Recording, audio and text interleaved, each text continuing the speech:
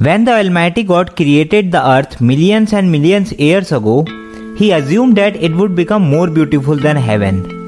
But as time passed, our Mother Earth became destructive rather than constructive. Or should I say hell?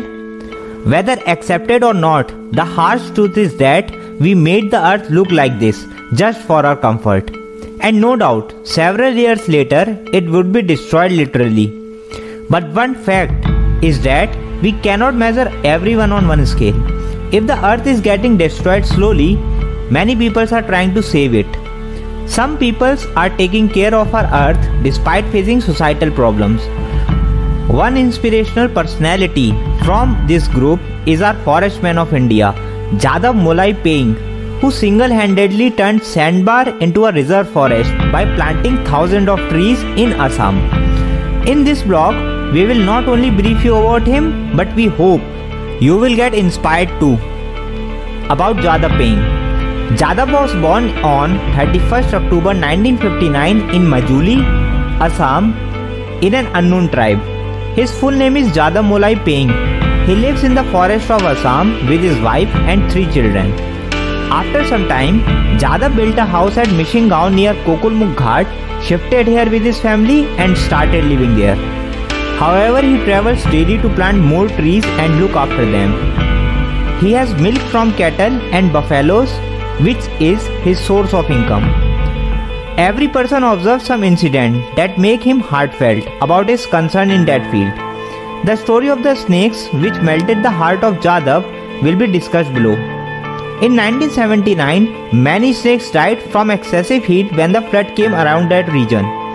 Also, that region washed out several trees and became sandbar. Due to this, he planted several bamboo seeds in the sandbar region. As a result, that area was converted into the forest named after him, Molai Forest. The forest, which is now Molai Forest, is now a living place for Bengal tigers, rhinoceros, deer, rabbits, and many animals, and also several birds and vultures. There are thousands of trees in this forest also, including Welcome, Edgar, Gilmore, Korai, Moj, Himalu and especially bamboo, which covers an area of 300 hectares. A herd of around 100 elephants visits the forest annually and generally stays for approximately 6 months.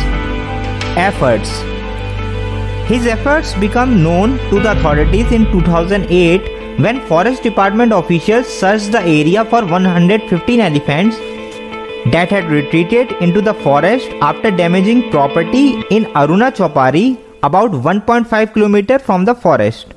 The officials were mesmerized as they witnessed such a large and dense forest. After that, the department has regularly visited there since 2013. One more incident occurred when poachers came to kill rhinos in the forest of Jadav. Jadav immediately informed the forest department and when they reached there, they not only arrested them but as a peace-giving result, Jadav saved those rhinoceros. Jadav also tried to make other villages looks like same as Molai. He visits there and requests people to plant more trees. Achievements Named as Forest Man of India, Despite his upcoming movie, another fact is that he is now in school textbooks. Jadav does not consider himself as a celebrity or care about the appreciation he has earned. Don't just read about me in schools. I want school teachers to teach children about the importance of trees from every aspect, says Jadav. Honors honored at a public function of 22 April 2012 at Jawaharlal Nehru University for his achievements. In 2015, he was honored with Padma Shri, the fourth highest civilian award in India. Received a doctorate from Assam Agriculture University and Kaziranga University for his efforts. The forest, which is named as Molai Forest after him, is now having an area of 1360 acres that is 550 hectares. It is said that one person sows sapling of trees but the next generations also enjoy its fruits. Let me give you an example. If one person plant a tree, he might get its fruit But the other generations also enjoy its fruits, shelter, and many other things provided by that tree. Also, we are aware that trees provide oxygen, which is a life carrier for us. Wonder a land without trees. Then, how will you enjoy its comforts? Like Jadav, let's initiate by planting one tree daily or weekly. Afforestation, if challenging, but is fruitful. Deforestation is easy but dangerous to all living organisms. If Jadav Payeng diverted his mind for this, why can't we? So, by this blog, get inspired and make our earth what it is heaven.